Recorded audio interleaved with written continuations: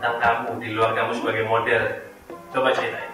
um, yang orang nggak tahu uh, oh iya uh, orang-orang tuh nggak tahu kalau aku tuh ternyata suka olahraga olahraga yang ekstrim Olahraga ekstrim yang kayak apa sih? Yang favoritin nama Adisti? banyak sih yang aku suka aku suka hiking aku pernah turun juga terus ya banyak lah cuman ada satu olahraga yang aku pengen banget cobain Apa tuh?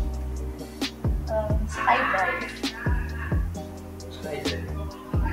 Dari ketinggian itu. iya soalnya kayak memacu adrenalin banget kan Berarti bisa dibilang unik juga kamu ya model dia terus suka olahraga ekstrim juga.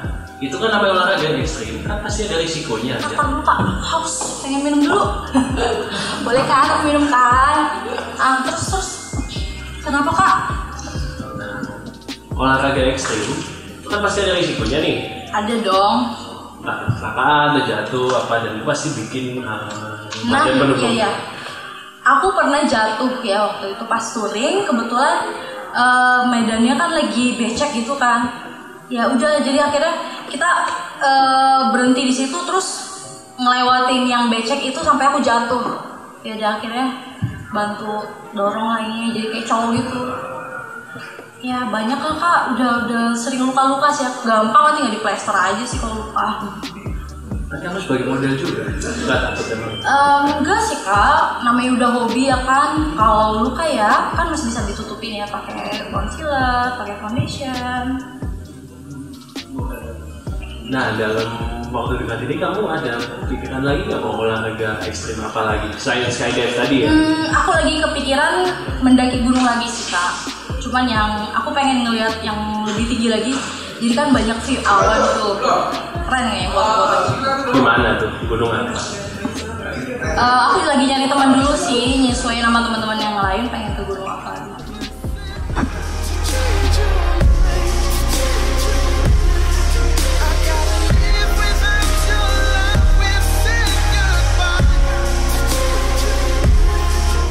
nah tadi kan kita udah membicarakan olahraga ekstrim Ya. dengar-dengar nih Hmm? kamu juga punya ketertarikan sama hal-hal yang berbau science fiction Suka banget aku tuh kak science fiction. malah katanya eh, kamu percaya kalau alien itu ada coba dong cerita Nah, gini. Aku percaya alien itu ada kenapa? Waktu itu aku sekitar umur 13, 10 sampai 13 gitu ya. Aku bareng adik aku dan kakak aku lagi duduk di teras rumah nih malam-malam. Eh nggak taunya kita kayak ngelihat satu objek yang aneh, bentuknya bulat. Terus dikelilingin sama lampu warna-warni gitu. Sejak saat itu aku jadi percaya alien itu pasti ada. Karena nggak mungkin kan ada pesawat bulat terus tinggi gitu. Nggak mungkin hovercraft kan cuman dekat doang dari da- daratan. Pasti UFO, aku yakin alien itu pasti ada. apalagi waktu itu belum ada drone ya Nah, itu udah lama banget belum ada drone loh. itu di mana sih kamu lihatnya Kebetulan aku kan karena domisili Kalimantan, itu tempatnya di Kalimantan. udah lama ya Udah lama banget, Kak. Nah dari situ kamu mulai eh, tertarik untuk nonton-nonton film science fiction atau apa? Sejak saat itu aku tertarik banget dan selalu mencari artikel terbaru soal alien, UFO dan ya yang berbau seperti itu sih. Nah kan banyak orang nih Mhm. percaya ah masa bener sih ada alien ah masa bener sih ada UFO. Nah, yang nggak dipercayain orang itu yang bikin kamu percaya apa? Em, gini ya, kita di galaksi kan terdiri, eh kita nih kan terdiri dari beribu-ribu galaksi dan kita di bumi tata surya kita nih salah satunya doang dari bermiliar itu. Pasti pasti ada kehidupan di luar sana juga yang mungkin mirip kehidupan manusia di bumi. Aku percaya itu sih. Pernah nggak kamu debat kayak gini masalah UFO dan alien ini ke orang lain atau ke teman atau bahkan cowok gitu? Hmm, kebetulan aku cuma nemuin orang yang sama-sama tertarik juga sama kayak aku. Eh, kalau teman-teman aku yang cewek pada nggak paham, kayak kurang tertarik sih sama hal-hal kayak gitu.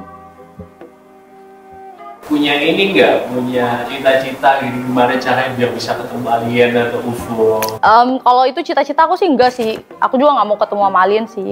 Cuman tertarik untuk mempelajari aja.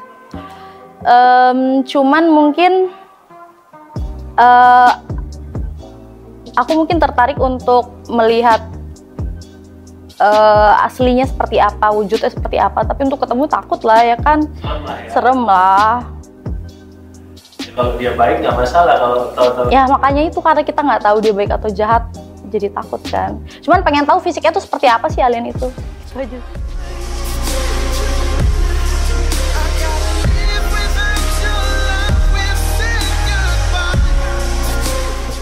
Eh, kalau cowok mau deketin kamu tuh harus kayak gimana? Oh, yang penting mereka baik aja sih dan gak terlihat em, ada kemauan yang aneh gitu. Ya harus bisa buat aku nyaman dulu sih kalau mau deketin aku. gimana cara buat kamu ya Pak? Em, buat aku nyaman tuh ya jangan kelihatan kalau dia bad boy banget soalnya aku nggak terlalu suka cowok kalau kelihatan bad boy aku udah ilfil duluan sih biasanya gitu bad boy secara sikap atau penampilan juga Kalau bad boy sih kayak eh, lebih ke sikap sih, karena kalau aku dari tampang, dari appearance kan orang di luar kelihatan nakal, dalam biasanya baik. Yang aku kenal sih biasanya kayak gitu. itu kan kalau secara sikap tadi ya Mhm. secara tampilan kayak gimana Kalau tampilan sih aku nggak terlalu sih, yang penting rapi dan wangi aja. ketemu cowok nih Mhm. yang dia itu nyebelin banget Nyebelin, nyebelinnya gimana gitu? nyebelinnya dia mungkin pernah nyakitin kamu entah. Oh, mhm. terus ada eh, di depan kamu ini ada senjata nih ada pisau ada pistol Mhm. satu lagi ada jendela yang kebuka jadi bisa kamu lempar tuh cowok ke bawah. kamu Hmm. pilih ke mana Aduh kak aku nggak nggak berani ngasarin orang sih. Aku aja yang loncat dari jendela bisa nggak? Nggak milih tiga-tiganya. Bisa kan? terus kalau gitu cowok yang kayak gitu anaknya diapa Em, cowok kayak gitu sih ya berdasarkan mantan mantan aku yang udah jahatin aku nih ya.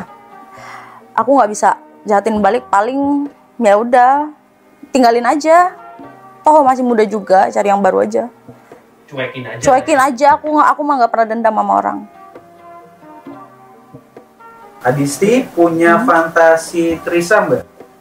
Fantasi trisam pernah sih. Terus yang seru itu cowoknya dua, ceweknya satu atau ceweknya dua, cowoknya satu.